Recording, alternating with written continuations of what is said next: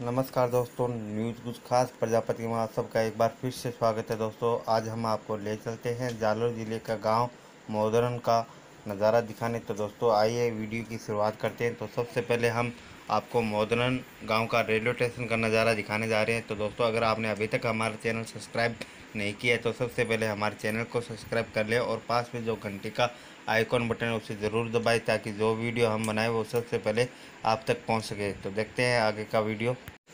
तो दोस्तों, जालौर ज़िले से लगभग 30 से 40 किलोमीटर की इसकी दूरी है। तो दोस्तों, यहाँ का नज़ारा हम आपको दिखाने जा रहे हैं। तो दोस्तों, अगर आपको हमारा वीडियो अच्छा लगे तो हमारी वीडियो को लाइक कीजिए और अपने दोस्तों को शेयर करना ना भूलें। तो देखते हैं आगे की वीडियो।